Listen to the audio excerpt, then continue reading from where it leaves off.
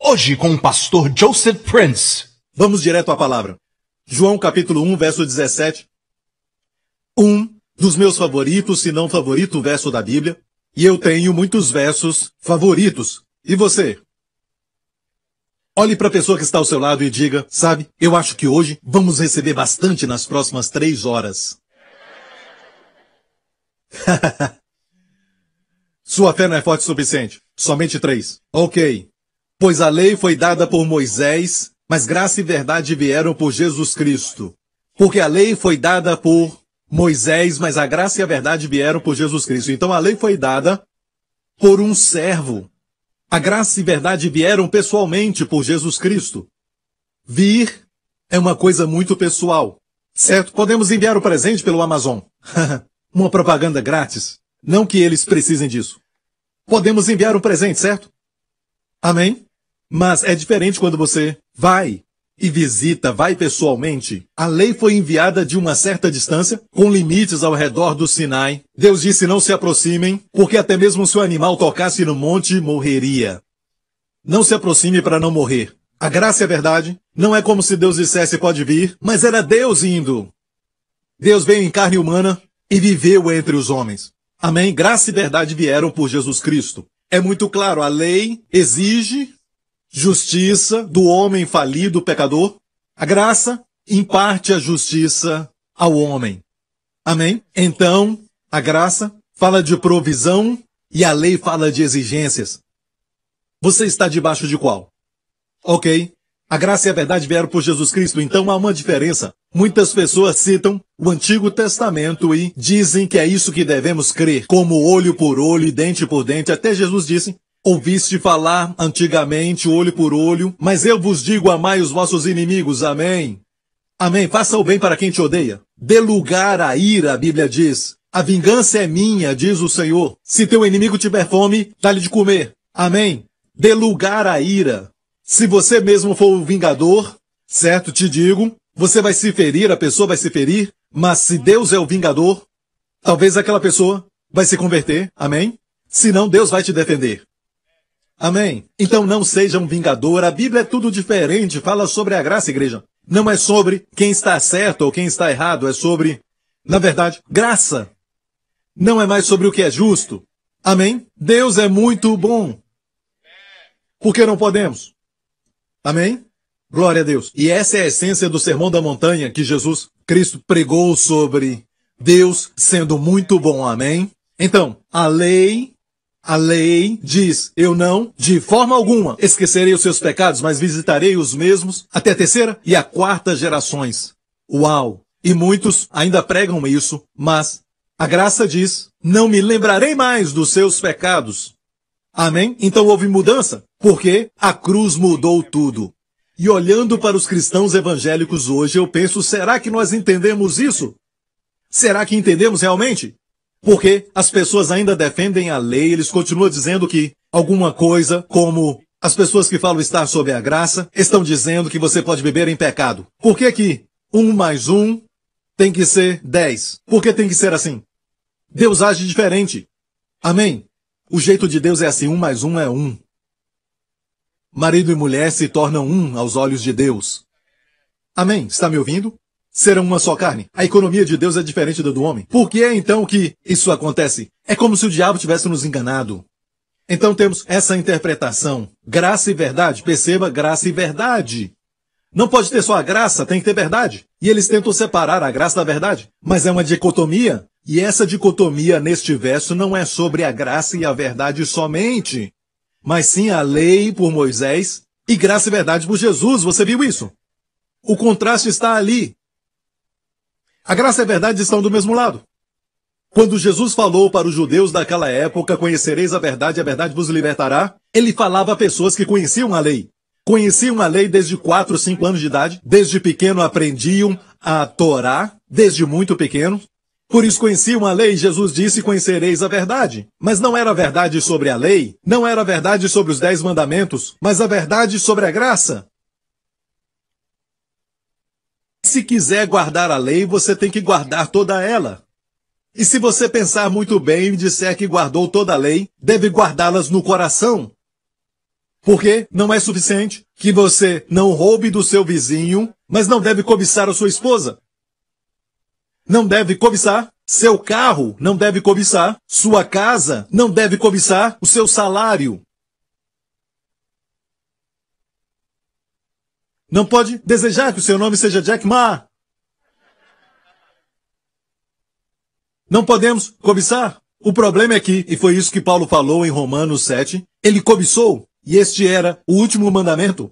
O último dos dez é, não devemos cobiçar. Como saber se cobiçamos? Talvez você tenha até guardado o resto. Mesmo que o homem não cometa adultério, não quer dizer que ama a esposa. Mas sob a graça, por ela você consegue amar, porque sob ela você recebe amor. Deus nos ama e nós amamos porque Ele nos amou primeiro. Amém? Então, aqui a dicotomia é entre a lei e a graça e a verdade. A graça e a verdade é somente um. É como água e molhado também é um. Não se separa molhado da água. Oi.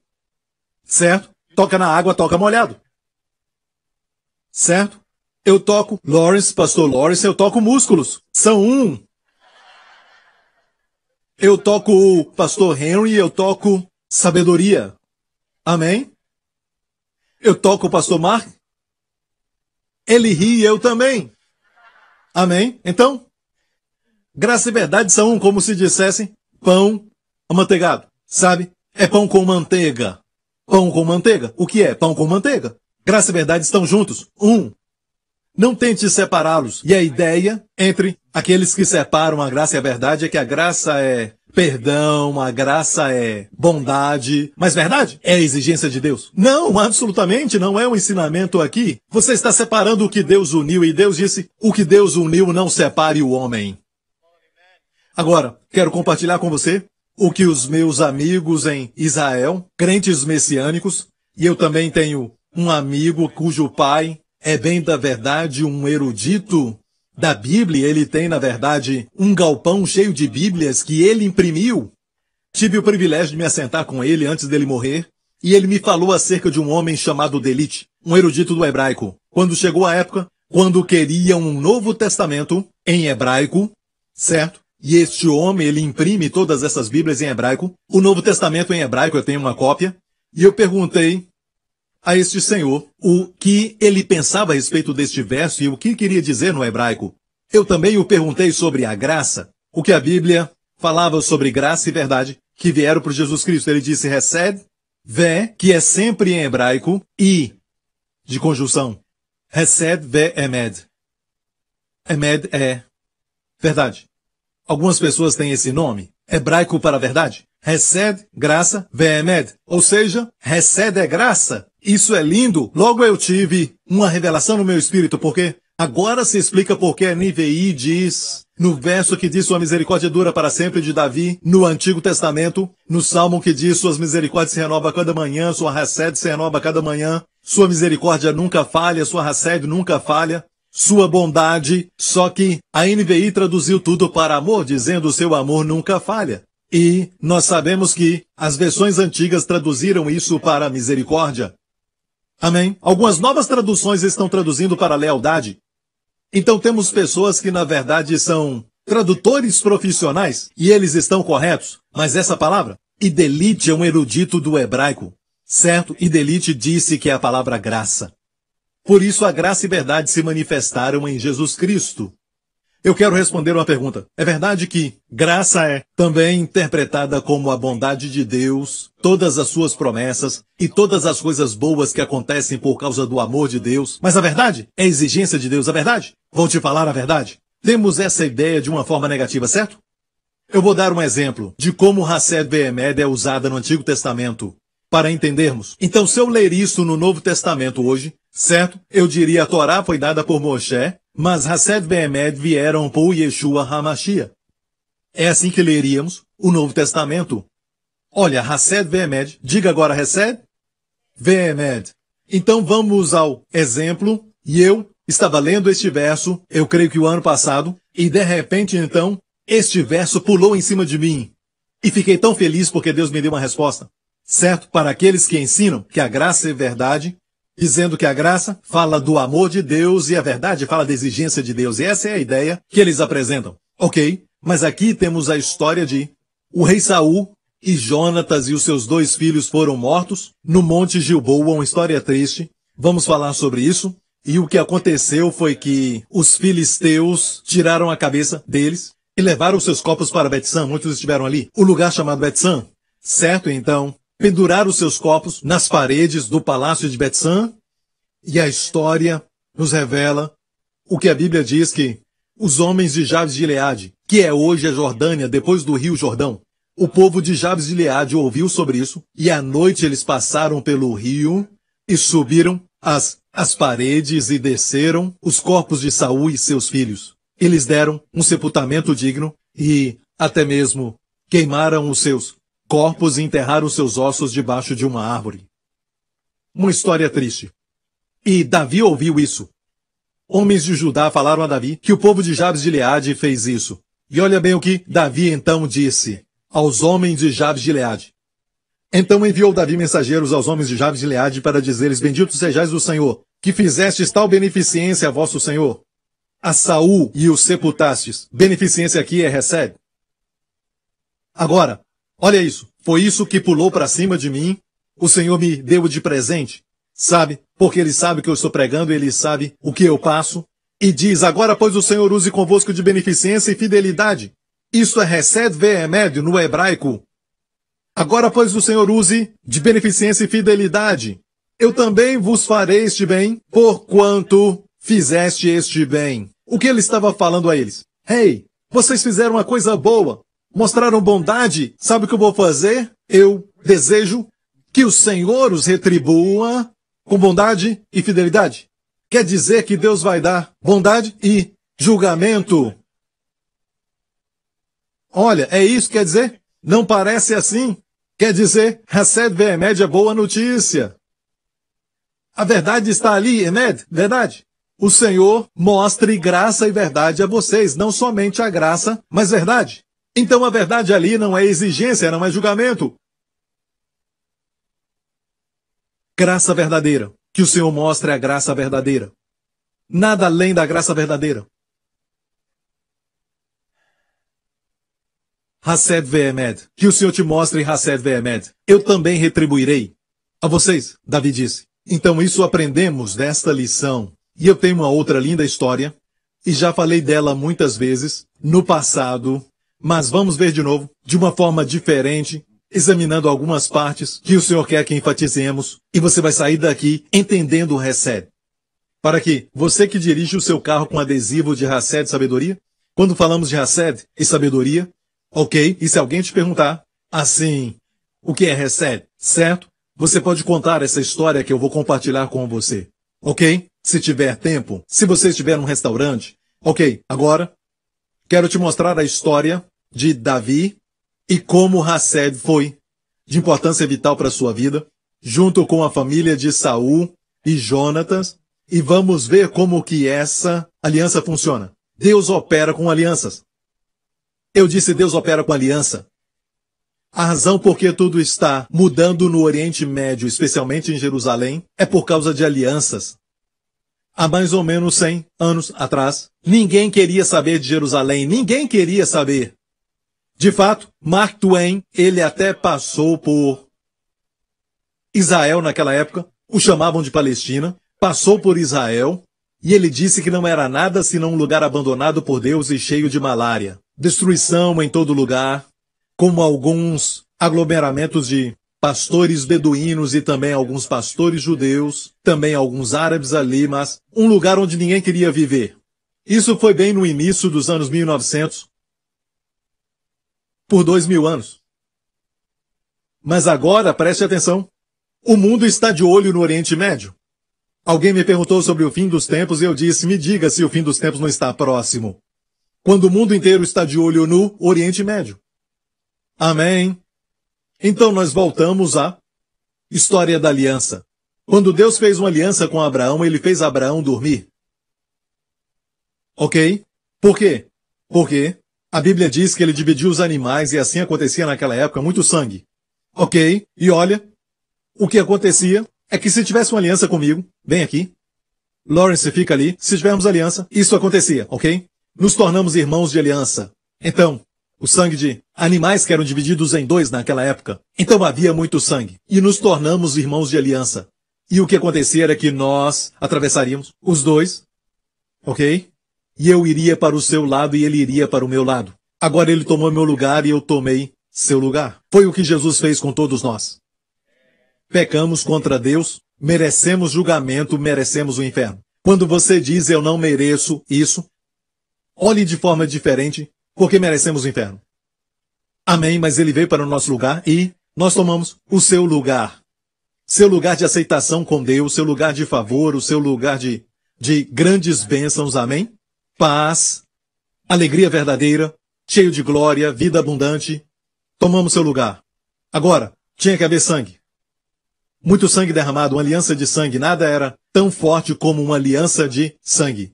Olha o que aconteceu. Quando Abraão colocou os pedaços ali, encontramos isso em relatos em Gênesis 14, Gênesis 15 e até o 16 para entender tudo. O que aconteceu foi, Deus queria fazer aliança, mas depois que os animais foram divididos em pedaços por Abraão, ele os cortou, as aves do céu vieram e ele os espantou. Tentando pelos seus próprios esforços para manter aquela aliança. Aquelas aves representam espíritos malignos. Jesus falou disso nas parábolas. As aves do céu e mais tarde deu a interpretação com demônios. O diabo. Certo? Deus não gostou disso. Ok, e o fez dormir. Ele não precisa de esforço humano quando faz uma aliança. Quando ele dormia, a Bíblia diz que ele teve uma visão e viu o que acontecia. Muitos de nós dormimos e ainda vemos o que está acontecendo. Não é um sono profundo. Acontece com você?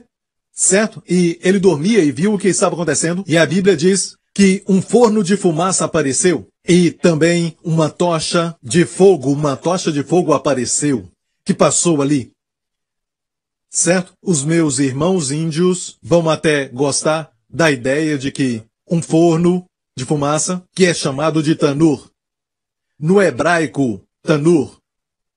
E os índios têm o tanur. Ok? Um forno de fumaça. E eles colocam madeira embaixo, colocam madeira para cozinhar, colocam a madeira ali. No tanur, certo? No hebraico é a palavra tanur. E a palavra Tanu se transformou nos países como a Índia e tudo mais, e em outros idiomas semitas.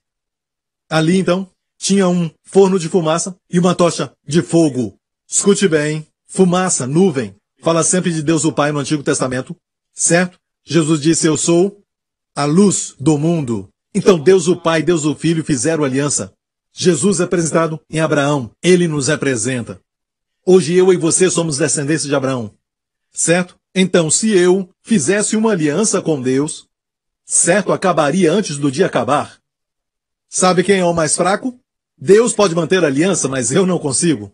Eu a quebro. E olha bem que aqueles pedaços de animais tipificavam ou eram sinais que contam uma história. Que se você quebrar e anular uma aliança, que Deus faça conosco o que fizemos com os animais.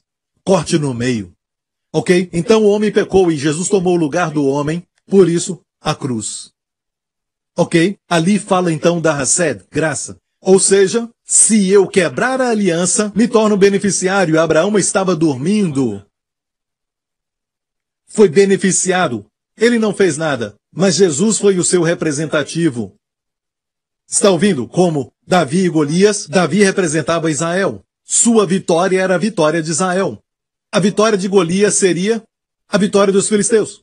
Representativamente.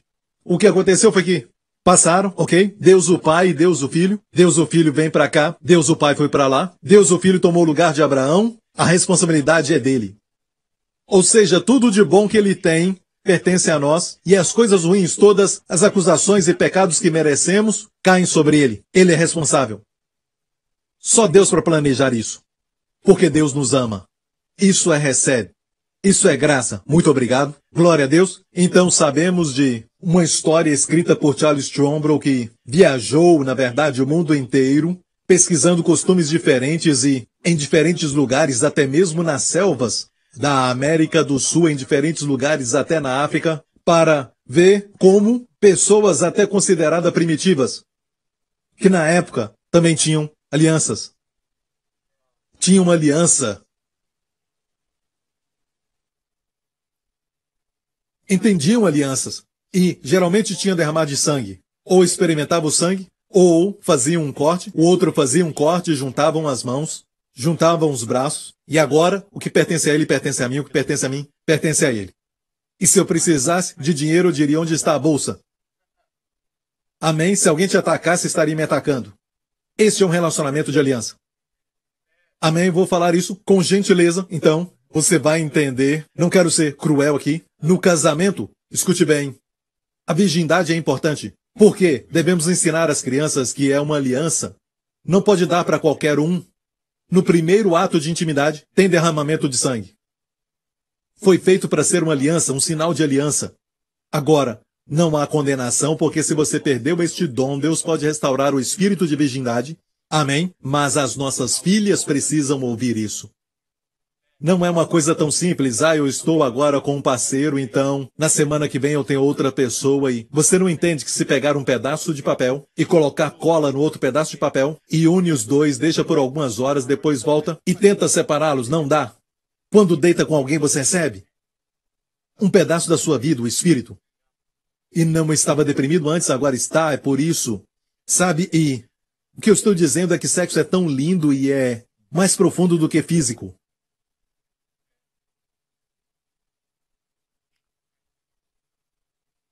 É corpo, alma e espírito. Ok, agora vamos à história de Davi e Jonatas. E o que aconteceu foi que depois de ter matado Golias, ele cortou a cabeça dele, certo? E eu digo que é importante cortar a cabeça. E ele pegou a cabeça de Golias. Agora imagine por um momento esse garoto de, de 17 ou 18 anos de idade diante do rei de Israel, rei Saul, que naquela época não era exatamente um bom rei, não era exatamente um rei que seguia a Deus, mas seguia o seu próprio coração. E quando ele foi escolhido para ser rei, não conseguiam encontrá-lo, estava se escondendo. Um profeta então veio e falou ao povo onde ele se escondia. Não queria se tornar um rei. Parece que ele se sentia assim. E o profeta Samuel, que sabia onde ele se escondia quando foi escolhido, anos depois disse essas palavras para o rei Saul quando eras pequeno aos seus próprios olhos. Deus não te exaltou? Nunca se esqueça disso. Quando eras pequeno aos seus próprios olhos, não? Te exaltou o Senhor? Mas ele se tornou orgulhoso. Pensou que as vitórias e tudo mais era porque ele era muito grande. Sabe? Não se esqueça disso. Foi o Senhor. Quando eras pequeno aos seus próprios olhos. O Senhor te exaltou. Então ele se escondia aí. O profeta revelou onde ele estava e depois, muitos anos se passaram. Ele era agora o rei de Israel. Então, esse gigante de três ou quatro metros de altura, que era filisteu, veio. E a Bíblia diz que Saul era mais alto do que todos, mais ou menos da minha altura, certo? Ele era muito mais alto do que os homens de Israel. Então, quem deveria lutar com Golias? Ele. Mas olha a fé que ele tinha quando ele era um jovem rei lutou em guerras e confiou no Senhor e o Senhor o dava vitórias. Nós lemos sobre isso. Mas agora, olha para ele. Ele tinha posição, tinha o título, tinha altura, mas não tinha aquela conexão. Não tinha mais contato com Deus, não tinha mais fé no Senhor, não tinha aquela fé viva. Mas havia um garoto de uma cidade de perto, Belém, que não era muito perto de onde estava a batalha, mas foi cumprir uma missão dada pelo pai. E ele levou o pão da vida para os irmãos, o pai enviando o filho. Amém. Para onde? Para Israel, para os seus irmãos. Amém. Ele matou Golias. Então precisamos entender uma coisa: a obra de Deus vai ser feita. Se você não mantiver a comunhão com Deus, ele vai encontrar alguém. A obra não pode parar. Sabe? Precisamos dele. Ele não precisa de nós. É um privilégio ser usado por ele. Ele escolheu nos usar. Certo então? O fato é este: se você sabe que há um lugar para você e Deus te deu então aquele lugar, não pense que você não pode perder o lugar. No momento que perdemos o contato com Deus, certo? Não perdemos a salvação, mas perdemos o lugar. Em termos de ministério, e um dia você olha lá embaixo e diz para os netos: Eu fazia isso. Uma palavra triste: fazia. Depois, alguém vai estar lá cumprindo aquilo que você abandonou. Não permita que isso aconteça contigo. Amém? Largue suas ambições pequenas. Deus tem coisas maiores. E ele diz: o que você abrir mão por ele, você vai receber cem vezes mais. No final da batalha, ele ficou diante do rei Saul com a cabeça de Golias e era muito pesada porque ele era um gigante de três metros, certo? Total, isso é chinês para cabeça grande, certo? Por alguma razão, algumas pessoas falam isso para mim. Quando eu era pequeno, total. Cabeça grande sem cérebro. Ele carregava aquela cabeça, e a Bíblia diz que o rei Saul, na verdade, ficou muito alegre, ok? Mas depois aconteceu algo com Jonatas. Ele era filho de Saul, da família de Saul. Ele olhou para Davi e a Bíblia diz que as almas dele se ligaram. E isso aconteceu. Fizeram aliança porque Jonatas amou a Davi como a sua alma e tirou a sua capa, assim se fazia naqueles dias, certo? Ele tirou a sua capa, o que quer dizer? A minha posição agora é a sua. Eu não fiz isso com Lawrence agora mesmo, porque eu acho que, na verdade, é melhor não mostrar os nossos músculos, mas... E a deu a Davi, como também as suas vestes, até a sua espada e o seu arco e o seu cinto. Sabia que Jesus na cruz ficou completamente nu. É uma figura de assumir a nossa nudez. Quem te disse que estavas nu? Deus disse para os nossos primeiros pais. Quem te mostrou que estavas nu? E a Bíblia diz que ele ficou nu diante de uma legião de soldados que fizeram muita zombaria disso. Bateram nele, cobriram seu rosto. Profetiza, quem é que te bateu? Fala isso agora. Profetiza isso. Você não fazia isso? Nos fale. Ficou calado como ovelha, diante dos toscadores. Levou a nossa vergonha. Por quê? Para sermos vestidos. Você foi remido da vergonha. Amém. Ele pagou por isso. Ele te remiu da vergonha. Não importa o que você fez no passado, ele te remiu da vergonha. Levante a cabeça, amém? E dê glória a ele, amém? Ele te remiu. Glória a Deus. Então, aleluia. Houve uma troca. Certo, recebemos a justiça. Não se esqueça. Davi era um pastor. Que podia oferecer? Jonatas, filho do rei Saul, um príncipe, vestia uma capa real, uma capa. Agora, olha a troca, eu tomo o seu lugar e você toma o meu lugar. E a espada e a armadura, quando você está numa guerra, quem está te atacando está me atacando. Eu sou agora o seu irmão de sangue. Irmão de aliança. Você entende isso? O que aconteceu foi que a celebração foi muito grande, o povo de Israel perseguiu aquele inimigo e houve um tempo de grande celebração e quando Saul voltou ao palácio, ele voltou ao palácio e as mulheres começaram a cantar uma linda música. Amém? A canção mais ouvida era Saul feriu os milhares. Davi feriu dez milhares. E a sobrancelha de Saul fez assim.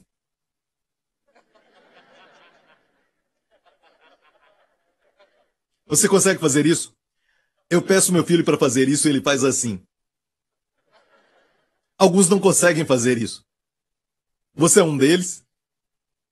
Fique com inveja agora. Então, Saul Saul ficou assim, com algo no coração. O que é isso? Inveja. Uau! Só me deram milhares. Deram a Davi dez milhares. Foi o começo da sua ira contra Davi. Agora, um outro líder com um grande coração diria: deve ser assim. Devemos levantar a próxima geração. Amém. Me alegro que Davi está do meu lado. Eu farei dele o meu braço direito. Não é assim? Um bom líder faria isso. Mas um líder ruim, inseguro, vai tentar derrubar os outros. Sabe, eu não posso te ensinar tudo, diz o líder tolo, porque um dia você vai usar as suas armas e vai me ferir pelas costas. E eu vou ficar aleijado, sabe? Não posso te ensinar tudo. Eu te ensino isso, isso, isso e isso, isso, isso esta posição e o tigre, sabe? Tigre agachado. O musculoso Lawrence. É bem assim. Ok. Mas não posso te ensinar isso. Isso é especial. Está reservado. Um dia, você me ataca e eu ando para trás, sabia? Esse tipo de mentalidade que não pode ensinar tudo, que Deus te ensinou para a próxima geração, esse é um líder muito inseguro. Eu disse algo para a liderança dessa igreja. Quando você envelhece, eu digo isso, seja qual for a posição, eu digo isso. Não se sinta inseguro quando um novo líder, que tem os dons que você também tem, e ele está fazendo um bom trabalho, e ele é mais jovem, não se sinta ameaçado. Eu digo isso. Seja um músico ou líder do coral, eu sempre digo isso. Lembre-se disso. Eu não olho para eles, eu olho para você. E como você os treina. Se você for bom em treiná-los, eu direi: olha, precisamos dele para ensinar muitos outros. E o seu futuro está seguro. Mas, se você começa a perturbá-lo, sabe, apontando os erros, isso reflete na sua liderança.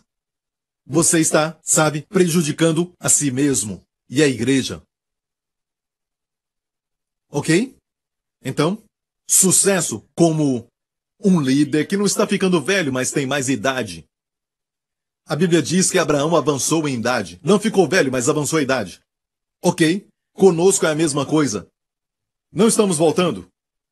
Não existe aquele efeito Benjamin, certo? Mas estamos sendo renovados na mocidade. É uma realidade bíblica, amém? Se você crer em Deus. Vamos levantar líderes. E o tempo chegou. Davi ia até a presença de Saul quando ele estava oprimido e um espírito maligno atacava Saul e o oprimia. Um tipo de depressão, e olha bem, tem na Bíblia de estudo de Young, diz que um espírito de trevas e tristeza, tristeza vinha sobre rei Saul. E ele ficava louco e jogava lança nas pessoas e tudo mais. E hoje jogam os seus móveis e até a sua televisão. Mas naqueles dias ele lançava lanças e Davi chegava e tocava sua harpa. E, de repente, o espírito maligno saía. E Saul ficava bem. É por isso o momento do louvor e adoração não é só um momento para você se preparar para a palavra, mas é um tempo de libertação. É um tempo de liberdade, é um tempo de adorar ao Senhor. Amém? Você não está tornando Deus maior do que ele já é, mas pode tornar Deus maior na sua consciência. Adoração te beneficia. É para Deus, deve ser focado em Deus e não em você. Mas traz benefício a você. Por isso é bom adorar ao Senhor. Entendeu? E então, o rei Saul, de repente, o espírito maligno saía dele e ele ficava feliz de novo. Mas quando a inveja nasceu no seu coração, algo mais aconteceu. Quando Davi começou a tocar, ele teve outra reação. Ele pegou a lança, ele tinha inveja de Davi e tentou matá-lo. E no filme seria assim: Davi encostado na parede, tum, seus olhos. Tantanã, estrelando fulano de tal. E assim começava a história de Davi. O começo seria uma lança. Seria assim. E Davi então percebeu que, hey, eu acho que não estou muito bem, mas ele estava bem com as outras pessoas. Ele estava bem com as outras pessoas. Se você olhar aqui, Diz o seguinte: E saía Davi aonde quer que Saul enviasse e conduzia com prudência, que significa sabedoria. E Saul o pôs sobre os homens de guerra, e era aceito aos olhos de todo o povo e até aos olhos dos servos de Saul. E a Bíblia diz que ele teve muitas vitórias nas batalhas contra os filisteus. E os que iam com ele o amavam. E a razão para Saul enviar não era só porque ele era um guerreiro. Amém, um pastor guerreiro, e Saul disse isso, e você vai ver nas narrações seguintes que ele queria a morte de Davi pelos filisteus. Ele o enviava para ser morto, Viu quanta maldade? E um dia a Bíblia diz que quando ele começou a lançar as lanças, Davi então fugiu e se encontrou com o profeta Samuel em Ramá. Eles foram para um certo lugar em Ramá e ficaram ali. E Jonatas foi se encontrar com Davi. Vamos ver a história. E Davi disse: Usa, pois, de misericórdia para com teu servo. Ele falou para Jonatas: Porque eu fizeste entrar contigo em aliança do Senhor. Se, porém, há em mim crime, mata-me tu mesmo, porque me levarias a teu pai. Davi era apenas um jovem, certo? E ele estava muito preocupado, porque quem queria matá-lo era o próprio rei. E depois que ele tinha conquistado uma grande vitória para o rei. Davi ficou muito triste. Dá para perceber nessas palavras? Por falar nisso, misericórdia aqui é recebe. Certo? E ele diz: Porque fizeste uma aliança do Senhor. Ele sabia que ele e Jonatas tinham uma aliança. Então, por que me levarias ao teu pai? Então disse Jonatas, longe de ti tal coisa. Porém, se de alguma forma soubesse que já este mal está inteiramente determinado por meu pai, não tu revelaria eu? Essa é a promessa que Jonatas fez a Davi. Se eu souber que o meu pai quer fazer algum mal a ti, qualquer coisa, eu vou te falar. Isso nos mostra que a aliança é mais forte que um relacionamento natural. Certo? Por isso a Bíblia diz que há um amigo mais chegado do que um irmão. Há um amigo mais chegado do que um irmão. Uma certa vez meu filho falou assim para mim: Você só tem uma palavra, uma vez por dia. Uma palavra do Senhor. E o que ele me disse recentemente quando eu perguntei alguma palavra do Senhor? Sim, ele manda dizer: sou seu amigo. Amei isso, amei isso porque aliança de amigo é mais forte do que de irmãos. A Bíblia diz no livro de Provérbios que há um amigo mais chegado do que um irmão. O nosso Senhor Jesus. É o nosso Senhor Jesus. Amém, mas ele também é o nosso irmão mais velho. Amém? Então aqui estamos, falando sobre a conversa de Jonatas e Davi. Mais em frente. O Senhor faça assim, é Jonatas falando, com Jonatas outro tanto, falando de si mesmo, que se aprover ao meu pai fazer-te mal, também tu farei saber e te deixarei partir e irás em paz. E o Senhor seja contigo, assim como foi com o meu pai. E o que aconteceu foi que havia um festival que estava vindo da nova lua, e Davi sempre comia com o rei, porque ele também era o seu escudeiro, sabe? Ele era convidado para se sentar naquela mesa que era o costume. Ele fazia isso, mas agora esse homem ficou louco, sabe? E ele estava com amargura e também inveja de Davi e tudo mais. E ele sempre tinha uma lança por perto. Davi tentava encontrar uma desculpa para não ir para aquela festa. Davi disse a Jonatas, por favor, sabe, me avisa. Se durante essa festa você está lá conversando com seu pai, essa festa era de alguns dias, três dias, e ele disse, antes de eu ir, no primeiro dia, você fala com seu pai, vê se ele está bem. Certo? Me deixa saber. E então, isso era triste. Preste atenção nisso. Vou te dizer uma coisa agora mesmo. Davi representa Deus nessa história. Deus está usando essa história verdadeira aqui, que aconteceu. Certo? No Antigo Testamento. Ele fez isso porque existe aqui uma mensagem para todos nós. Davi representa Deus. Jonatas representa Jesus, que veio para se tornar um homem. Ele veio como homem. Ele participou de uma família humana. Saul representa a humanidade. Nós pecamos. Certo? Ok? E Jesus veio da família de Saul. Ele veio como um homem. Entendeu? Ok? Davi aqui representa Deus. E eles tinham uma aliança, que falei agora mesmo. Você está entendendo? Agora, quantos concordam que muitos de nós estamos loucos de uma certa maneira? Alguém definiu insanidade fazer a mesma coisa de novo e de novo e esperar um resultado diferente. Sabe que realmente quando nós fazemos coisas aos nossos corpos é uma forma de insanidade. Se você está usando drogas que sabe que não são boas para você, eu não estou falando de medicamento, mas usa drogas e sabe que isso não é bom. Talvez você está viciado, mas é uma forma de insanidade. Que você sabe que é errado, mas não consegue ou você não quer, é uma forma de insanidade. Certo? Todos nós, toda a humanidade, não estamos com a cabeça no lugar. E nós ficamos ali julgando quando a cabeça está assim. Falamos da Bíblia. A Bíblia está cheia de contradição. Você já leu isso? cheia de contradições. Estamos julgando até Deus. Ah, se Deus, se ele é Deus, deveria, deveria, deveria, deveria, deveria. Não deveria deixar isso acontecer. Porque isso é errado? Sim, é errado. Como sabe o que é certo e errado? Você é um ateu? Por que isso é errado? Se você é um ateu, nada é errado, nada é certo. Só depende do que quer fazer. E se você diz que Deus na verdade é mau, deveria também dizer que há um bom. Se há mal, há bem. Morais que transcendem vêm do ser que transcende. Ok? Então vamos, de volta a isso.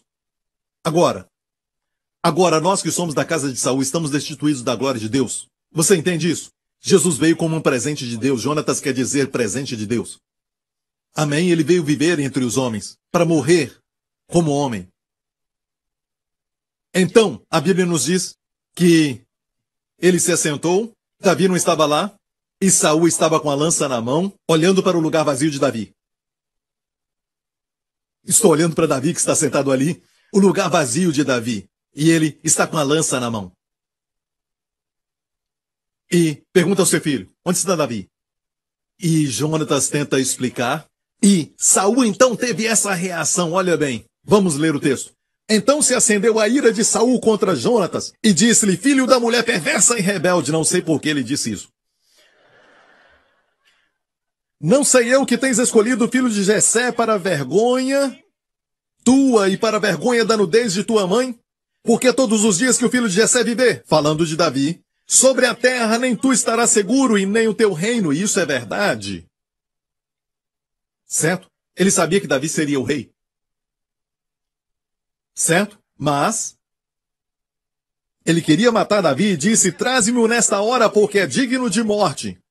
Então respondeu Jonatas a Saul, seu pai, e lhe disse: Por que há de morrer? Que tem feito? Quando eu li isso, prestei atenção nessa palavra. Por quê? O que tem feito? Que mal que ele fez? Quem disse isso? O que, que ele tem feito? Que mal que ele fez? Quem disse isso? Pôncio Pilatos. Ele falou isso para o povo, os líderes de Israel. Por que? Que mal ele fez? Que mal ele fez? Então Saul atirou-lhe com a lança para o ferir até mesmo seu próprio filho. Ele escapou, lógico, mas Jonatas sabia que o seu pai tinha determinado matar a Davi. Por isso Jonatas, todo encolerizado, se levantou da mesa e no segundo dia da lua nova não comeu pão, porque se magoava por causa de Davi, porque o seu pai o tinha humilhado. E no segundo dia, naquela festa, eles tinham que comer, celebrar, mas ele não quis.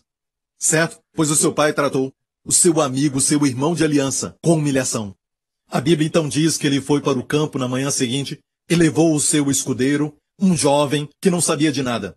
Davi se escondia atrás de uma rocha, perto da floresta. Jonatas pegou três flechas e atirou o mais longe possível as flechas e gritou: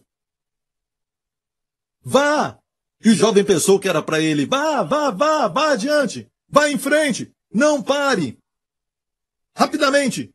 E o jovem corria rápido para as flechas. Era uma mensagem para Davi. Creio que havia lágrimas nos olhos de Jonatas. Porque seria uma das últimas vezes. Além da última quando viu Davi. E a Bíblia diz que, depois que o escudeiro retornou, ele falou ao jovem, volta para, para casa. Depois disso, Davi veio. E ele então pôde ver Davi. E aqui está o que ele disse. Ele disse a Davi, vá em paz. O que nós temos jurados ambos em nome do Senhor, dizendo o Senhor seja entre mim e ti, e entre a minha descendência e a tua descendência, perpetuamente. Então se levantou Davi e partiu, e Jonatas entrou na cidade. Eles se encontraram mais uma vez. Vamos ver a história, olha bem. E Davi permaneceu no deserto, e Saul buscava todos os dias, porém Deus não entregou nas suas mãos. Vendo, pois, Davi que Saul sair à sua busca, permaneceu no deserto. E agora vem a última vez que se encontraram. Então se levantou Jonatas, filho de Saul, foi para Davi no bosque e confortou a sua mão em Deus. E disse-lhe, não temas, que não te achará a mão de Saul, meu pai, porque tu reinarás sobre Israel. Eu serei contigo o segundo, o que também Saul, meu pai, bem sabe. E ambos fizeram aliança perante o Senhor. Davi ficou no bosque, e Jonatas voltou para sua casa. Olha bem, o que foi dito? O que Jonatas disse? Que o Senhor seja entre mim e ti e os nossos descendentes. Nossos descendentes. Ou seja, os descendentes são parte do benefício da aliança. Jesus fez aliança, nós somos os descendentes. Somos a semente, somos a semente de Abraão. Na verdade, nós somos diferente das pessoas do mundo. Percebeu isso? Gostando você ou não, vão nos tratar diferente, porque nós somos. Somos um povo de aliança. Amém. Eu quero te dizer isso. Escute bem, eu estive lá no monte onde a batalha com os filisteus aconteceu. No monte Gilboa, entre Saul e os filisteus pelejaram. Saul morreu ali. Ok? E os seus três filhos também morreram e Jonatas morreu. Quando a notícia chegou a Davi que Jonatas tinha morrido e Saul tinha morrido, ele chorou por ambos. Ele disse como caíram os valentes mais ligeiros do que as águias, mais fortes do que leões. Há ornamento de Israel, nos teus altos foi ferido como caíram os poderosos. Vós montes de Gilboa, nem orvalho nem chuva caem sobre vós. Sabia que por muito tempo, a uma parte do monte de Gilboa, eu posso te mostrar, que até agora não há vegetação. Certo? Vimos isso. Foi essa parte que Davi amaldiçoou, porque foi ali que Jonatas e Saul caíram. Mesmo o rei Saul sendo um malvado para Davi. Sabe, ele procurava matar Davi de tão malvado que era. Davi o chama de ungido do Senhor. E chorou chorou.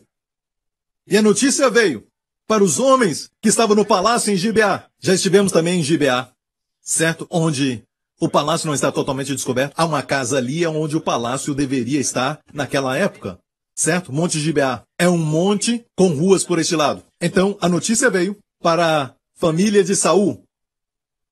O rei Saul morreu, o rei Saul morreu no Monte Gilboa, então todo mundo ficou em pânico. Eles começaram a correr e pegar algumas coisas e Jonatas tinha um filho. Vamos ler a história. Segundo Samuel 4:4, e Jonatas, filho de Saul, tinha um filho aleijado de ambos os pés e era da idade de cinco anos. Eu paro nessa leitura e logo penso no meu filho que tem cinco anos. Eu entendo muito bem. Eu pensava que era um bebê que ela estava carregando e não era. Se pegar o meu filho, vai entender. A notícia veio. Corram! Fujam! Correr de quem? Tinham que correr de quem? Os filisteus não iriam entrar até o território de Israel. Ainda havia Davi e o seu exército. Então por que eles estavam correndo? Correndo de Davi. Porque Davi sabia que agora existia uma oportunidade para reinar. Certo? Mas ele pensava assim? Não, Davi não era assim. Veja, todos no palácio de Saul não viram as lágrimas de Davi. Não viram. Eles nunca o viram chorar e dizer os valentes de Israel caíram. Ah, Jonatas, ah, Saul, morreram como homens cujos escudos não foram ungidos com óleo. Chorou por eles e amaldiçoou aquela montanha. Eles não viram isso. O mundo também não vê isso. Pensam todas as coisas sobre Deus, mas não o conhecem bem. Não veem as lágrimas de Deus. Eles não veem como ele tenta alcançá-los, como Jesus chorou sobre Israel. Eles não entendem que Deus é um Deus de compaixão, que os ama tanto. Amém. Sim, ele é um Deus justo, mas já fez provisão para que a sua justiça já fosse satisfeita pela cruz de Jesus Cristo. Amém. E ele quer que os homens voltem para ele. Amém? Então, alguns não sabem isso. Há uma mentira. Um evangelista mentiu para eles dizendo que, sabe? E eu creio que eles creram nisso. Eles creem de forma errada e pregam de forma errada dizendo: Corram, Davi está chegando, Deus está chegando. Em alguns lugares falam para os seus filhos: Não façam isso. Porque Deus não gosta disso. Deus não vai te amar assim. O Papai Noel está vendo tudo. Melhor se comportar. Ele sabe quem é bom ou mal. Certo? Não faz sentido, joga fora. Destrua tudo isso. Amém? Porque alguns pensam que o Papai Noel representa Deus. E o mundo crê de forma errada em Deus. E o pequeno? Pequeno Mefibosete. Olha o que a Bíblia diz. A sua ama o tomou e fugiu. A sua ama o tomou e fugiu com cinco anos de idade, apressando ela a fugir. Sabe, Lawrence, eu estava pensando naquele lugar com aquela descida. Acho que foi ali que ele caiu. A ama caiu, ele caiu.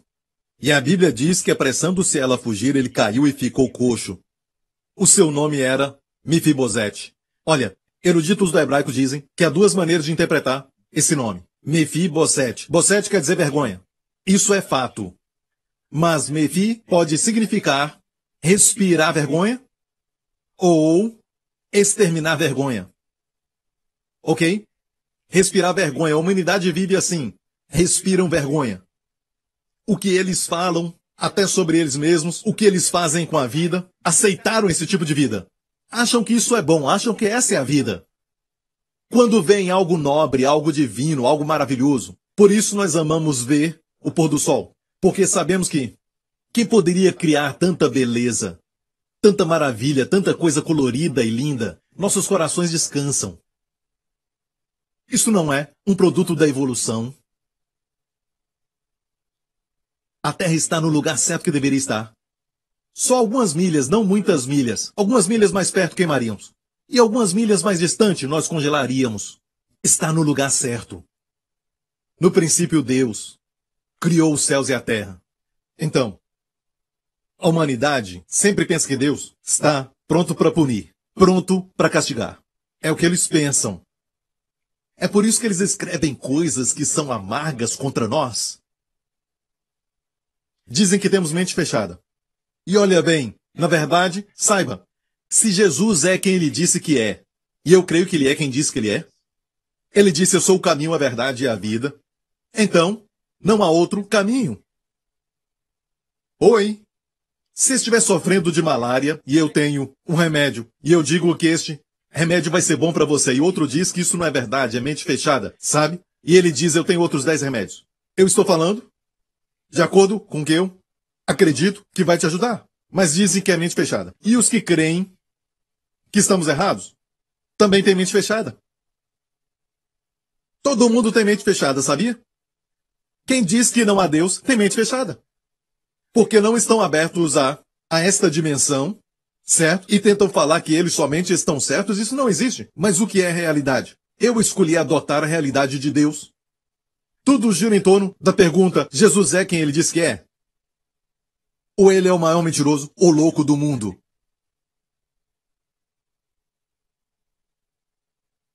Ele disse: Eu sou o caminho, a verdade e a vida. Você entendeu isso?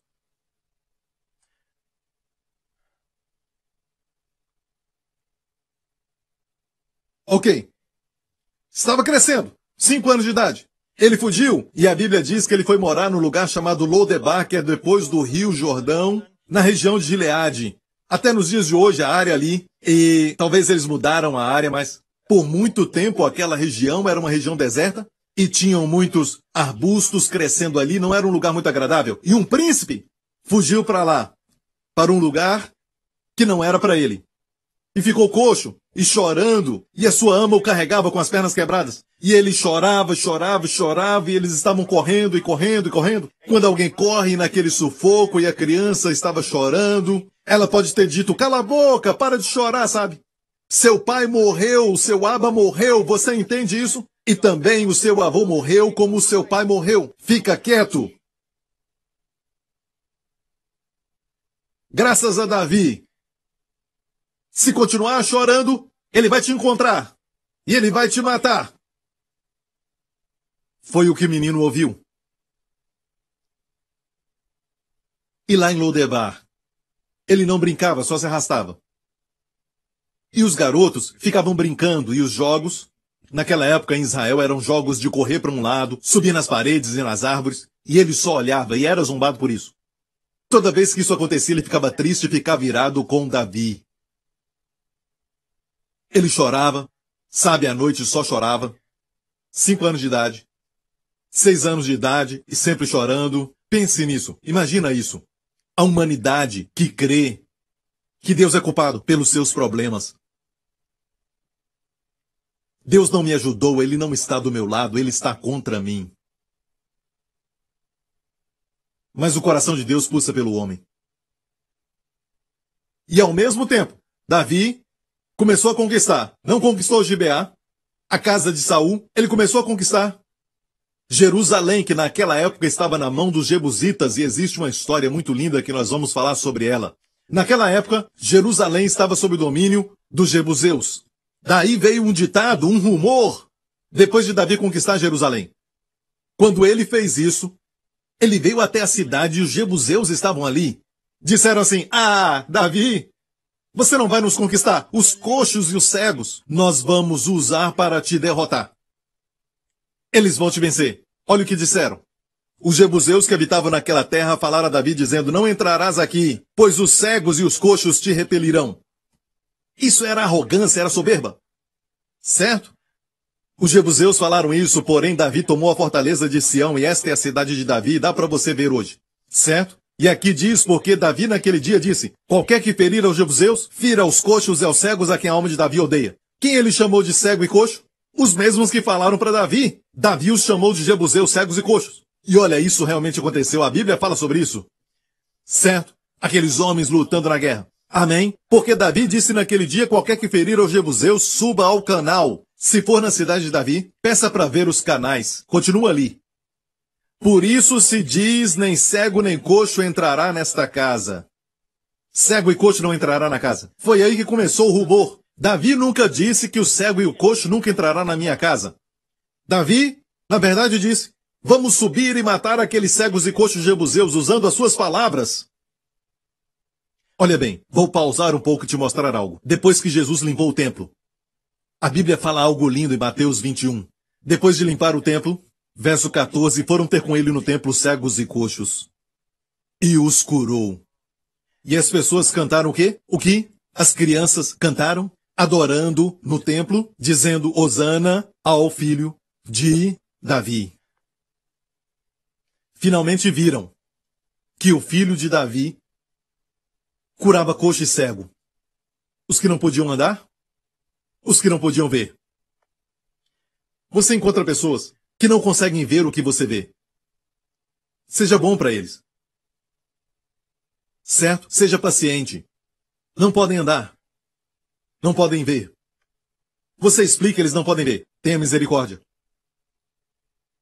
Amém. Jesus curou ambos.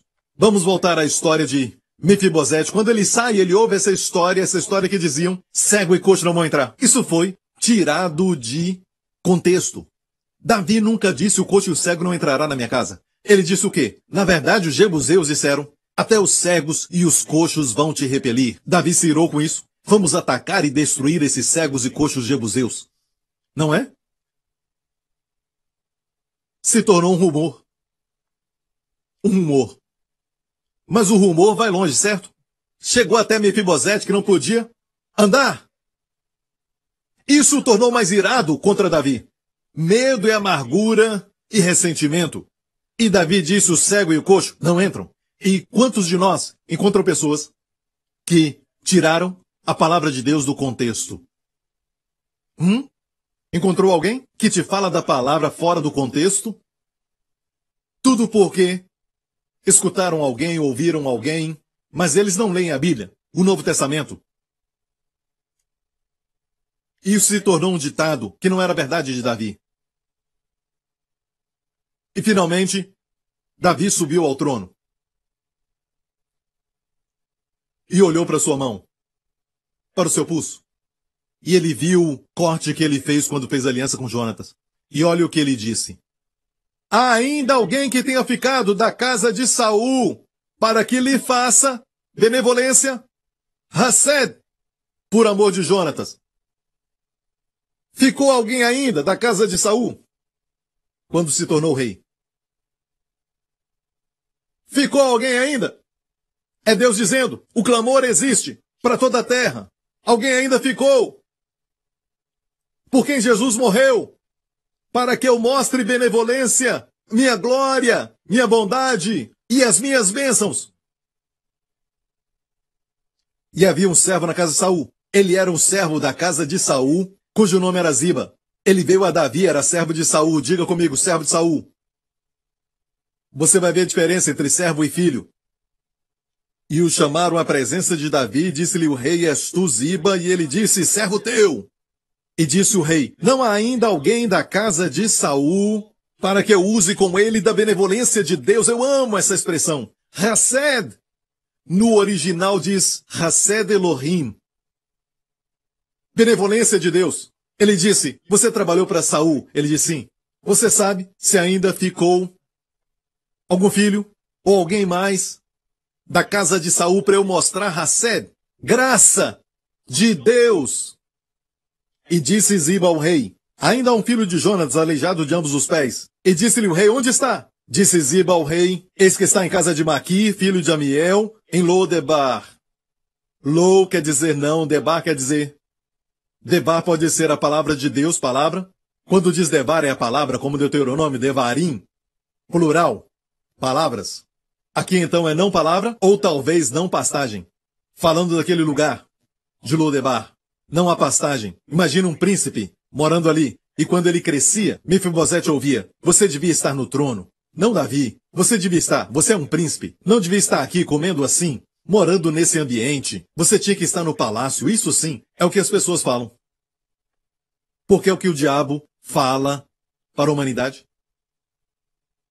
É melhor crer então que não há Deus. É melhor crer que ele não está nem aí. Você crê em Deus, ele não está nem aí, ele está longe. E ainda outros pensamentos que iam no coração de Mefibosete. Certo? Então, olha aqui. Verso 5, então mandou o rei Davi e o tomou da casa de Maquir, de Lodebar. Olha, eu amo isso. Preste atenção nisso. Mandou e tomou. Sabe que Deus não disse, você vem para onde eu estou. Ele veio para onde estávamos. Amém? Ele foi para encontrar. Deus enviou o seu filho. Amém? Como Davi foi para os seus irmãos no campo, com pão e queijo e comida, Deus enviou Jesus. Agora, olha isso. É um retrato de Deus. Davi é uma figura de Deus. Certo? Quem é Jonatas? Jesus. Ele também morreu. Quando usar tipologia e ler a sua Bíblia, por favor, não diga que tudo que Jonatas faz é Jesus.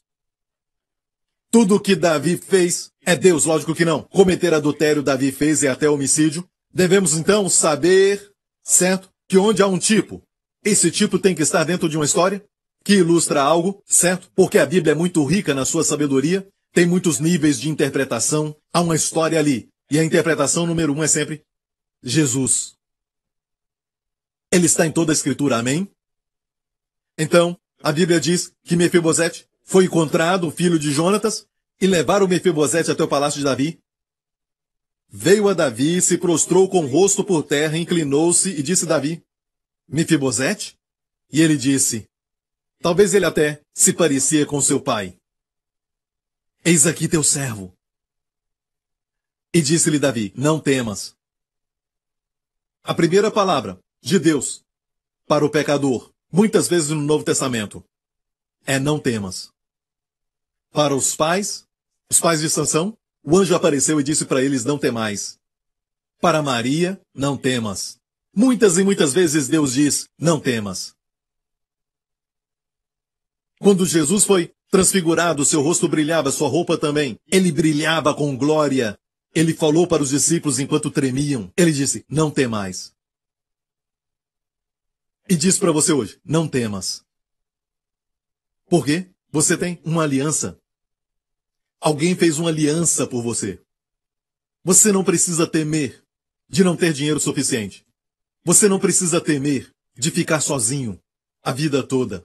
Não precisa ter medo de que essa doença vai te matar. Mas aquele meu amigo, olha, eu não sei sobre o seu amigo, mas você tem uma aliança. Você tem uma aliança, mas eu não fiz nada. Alguém fez por você. Ah, mas eu não sei de nada. Não precisa saber para receber. Muda sua mente. Isso é arrependimento. Aqui, como o arrependimento aconteceu? Olha isso. E disse-lhe Davi: Não temas. Porque de certo usarei contigo de benevolência no hebraico. É dupla porção. Quando se usa essa palavra de certo. Usarei contigo benevolência, por amor de Jonatas teu pai. Hassed, eu te mostrarei graça. Por amor de Jonatas teu pai. Ei, olha para mim. Deus está dizendo, de certo usarei de graça para a sua situação. Agora mesmo pensa que estás sozinho. Você pensa, ah, eu já estou ficando muito velho. Eu vou ficar sozinho. Deus diz, de certo eu te mostrarei minha graça. Por amor a Jesus. Amém. Você diz, ah, eu não sei o que vai acontecer porque os médicos dizem que no caso como o meu, um em cada três não sobrevivem. Hey, esquece tudo isso. Deus diz, eu de certo usarei para contigo recebe. Usarei de graça, por amor a Jesus. Amém. Amém, eu não tenho o suficiente. Eu de certo usarei para contigo. Eu usarei. Não é para ninguém mais, mas para você. Eles vão ver, mas não é para eles. Eu mostrarei minha graça. Por amor a Jesus. Amém e e te restituirei restauração. Tudo que você perdeu quando Deus usa de graça, sede, bondade, tudo que foi perdido voltará. E te restituirei todas as terras de Saul, teu pai, e tu sempre comerás pão à minha mesa. Tomamos a Santa Ceia, a mesa do Senhor, rei, não é verdade? Você comerá a mesa do rei com os meus filhos. Vai comer a minha mesa continuamente. Então se inclinou e disse: Quem é teu servo para teres olhado para um cão morto tal como eu? Cão morto no hebraico é o mesmo que lixo, ok? Ele estava cheio de quê? Vergonha. Lembra o seu nome? Mefi Boshet. Boshet é vergonha. Ok? Mais em frente. Então chamou Davi a Ziba, moço de Saul, e disse-lhe tudo que pertencia a Saul e a toda a sua casa tenho dado ao filho de teu senhor. Escute. Isso é importante, eu quero que você preste atenção. Trabalhar-lhe-ás, pois, a terra, tu e teus filhos e teus servos, e recolherás os frutos. Para o servo, servo de Saul, ele disse, trabalharás a terra para ele. Para o filho de Jonatas, Mefibosete, eu tenho dado. Viu a diferença? Para um filho da graça, Deus diz, não há trabalho, só recebe, eu tenho dado. Para o servo, Deus disse: trabalharás. Trabalharás para ele. Olha para mim. Quando Davi falou com Jonatas, quando Deus fala com o filho da graça, não há palavra de ordem, só a graça. Não temas, eu usarei contigo. Te restituirei. Tenho dado somente graça, não há ordem, não há lei. Para o servo, alguns têm a religião de servo. Quem tem espírito de servo vive assim. Não há graça, não há palavra da graça. Somente ordem. Você trabalha a terra, trabalha. Você faça isso, você e os filhos, ok? Viu a diferença agora? Servo e filho. Você é um filho e não um servo. Você é um filho? Não tem a religião de servo? Israel cometeu este erro, e olha bem o que Ziba disse. Ziba depois revelou quem ele era. Ele era egoísta, homem egocêntrico. Mas ele disse: Tudo que mandares, faremos. O mesmo que Israel fez no Monte Sinai. Grande erro, tudo que mandar, faremos. Se colocaram sob a lei. Uma linda figura aqui. E o que aprendemos é isso. Alguns até dizem: você precisa se arrepender antes de Deus mudar e te mostrar Hased. E pensamos assim: se não nos arrependemos, Deus não vai olhar para nós. Ou seja, o nosso arrependimento vai nos levantar ou vai nos consertar para que Deus, através do nosso arrependimento, vire o seu coração para nós. Posso perguntar algo? Alguém precisou mudar a mente de Davi para Mefibosete? O coração de Davi estava cheio de amor por Mefibosete antes de conhecê-lo? Davi queria abençoá-lo? Deus, ouça, Deus não precisa do seu arrependimento para ser bom para com você. Deus já ama você. Seu coração é bom para com você. Escute, olha, é a bondade de Deus que nos leva ao arrependimento.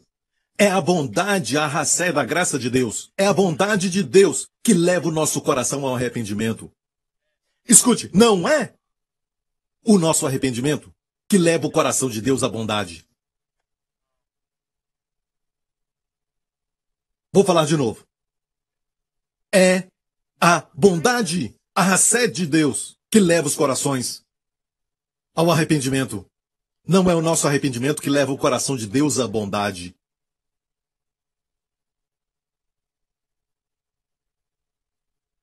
O que acontece é quando você vê o amor e quando você vê a bondade de Deus, você pensa melhor sobre ele. Por isso, Paulo pregava arrependimento para com Deus. Amém. É mudar a ideia, é arrependimento. Não me interprete mal. Não escreva para mim, não perca tempo. Eu estou falando que há arrependimento. Mas o arrependimento é produzido quando nós vemos o amor de Deus, a bondade de Deus, a graça de Deus, a raced de Deus, que produz arrependimento. Ah, ele não é o que eu pensava.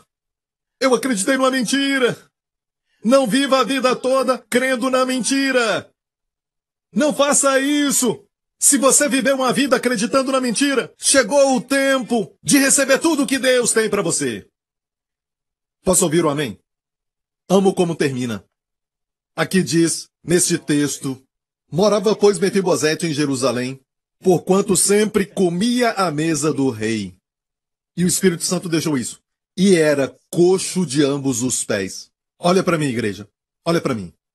Por que Deus deixou era coxo de ambos os pés? Alguns dizem certo? Não pode ser coxo.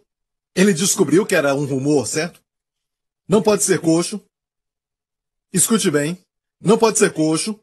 No seu caminhar com Deus, não pode ser coxo e chegar à presença de Deus. Sabe de algo? Ele era coxo, foi à presença do rei. Não caminhava direito. Continuamente!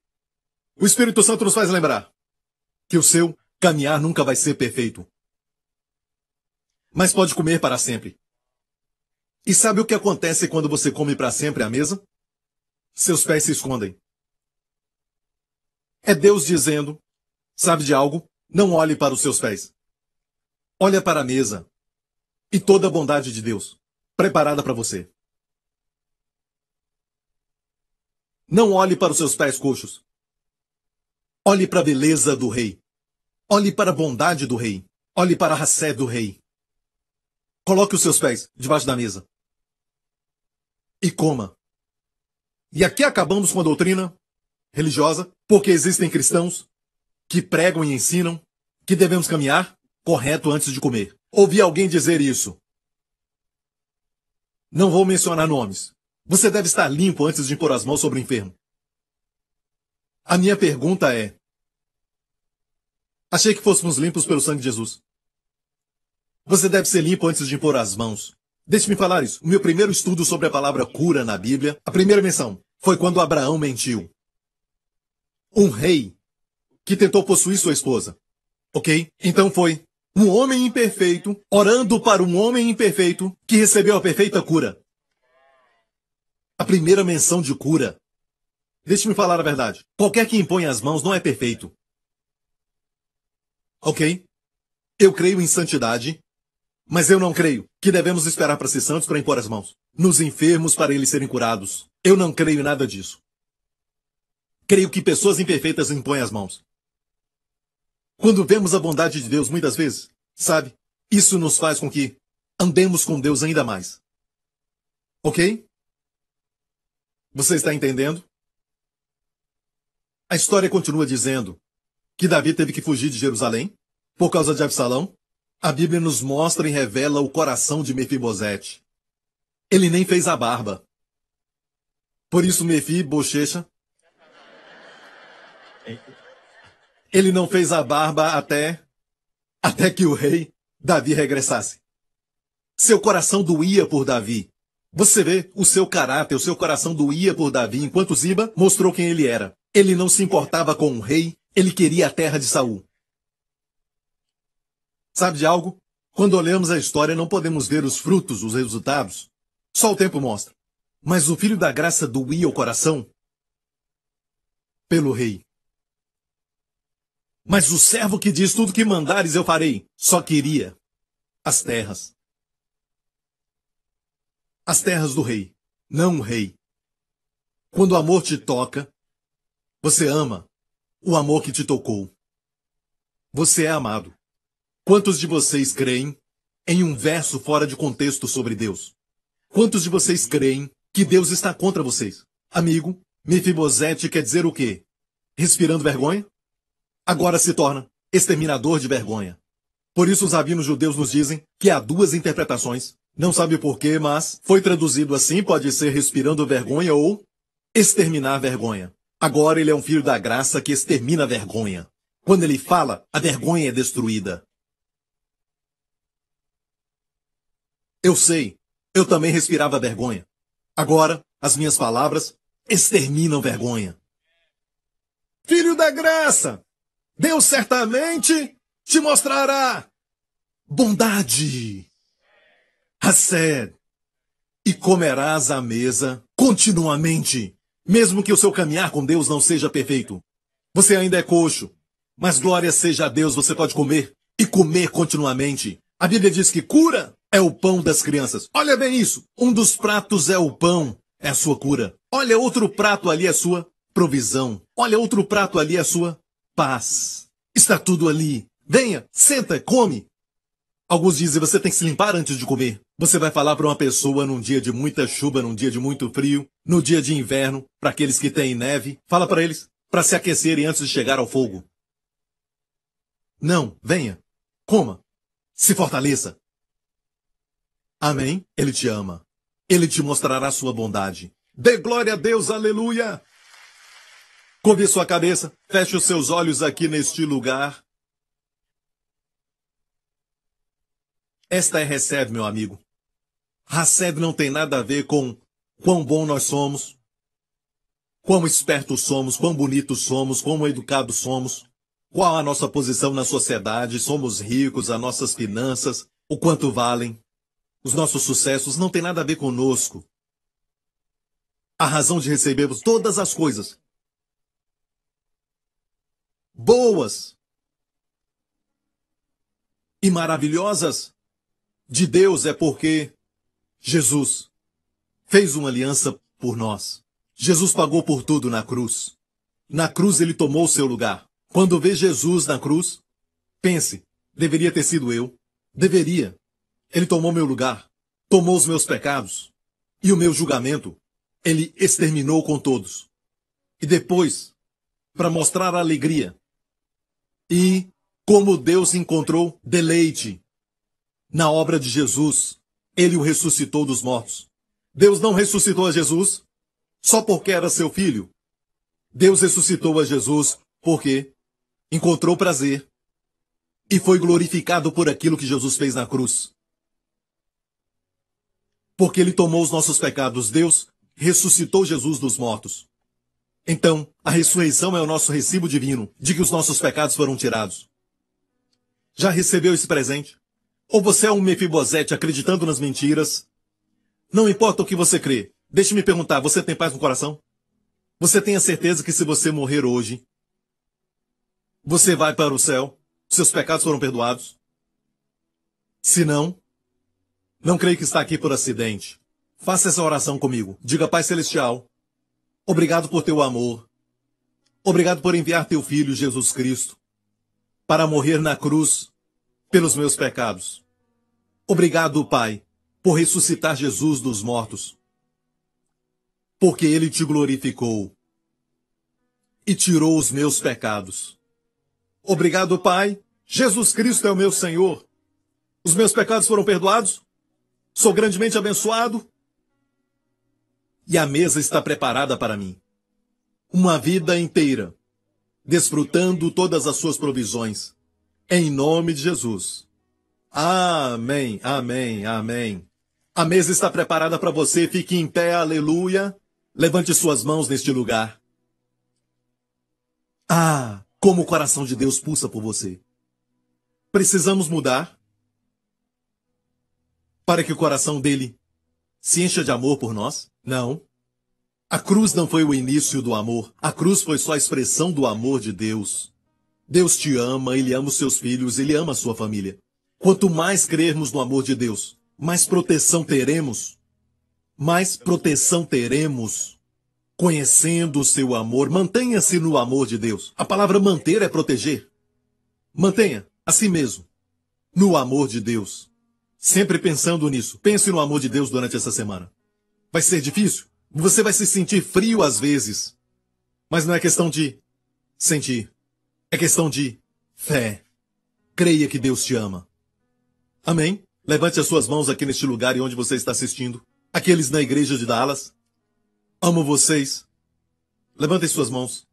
Que o Senhor te abençoe. Com as bênçãos do Pai Abraão. Que o Senhor te guarde, te mantenha e te preserve a você e aos seus amados durante essa semana. De todo perigo, ameaça e acidente. Da solidão. De todos os tipos de cilada que o inimigo preparou para você e para os seus filhos. Que o Senhor te guarde de todas elas. E que o Senhor resplandeça o seu rosto sobre ti. Seja gracioso para contigo. Te mostre Hassed. Mostre a seus filhos Hassed. E que o Senhor mesmo levante o seu rosto e te conceda Shalom, paz e saúde. Em nome de Jesus. Toda a igreja diga Amém. Deus te abençoe, foi um grande culto. Teremos mais. Obrigado por sintonizar no programa de hoje. Esperamos que tenha sido uma bênção para a sua vida. Para mais informações sobre o programa da Igreja New Creation, acesse o site ncctv.org.sg. Lá você poderá se inscrever para receber um devocional diário do pastor Joseph Prince. Seja incentivado e fortalecido todos os dias e saiba o quanto Deus lhe ama através desses devocionais. Acreditamos que seu dízimo pertence à igreja que você frequenta e oramos para que você seja grandemente abençoado, altamente favorecido e profundamente amado.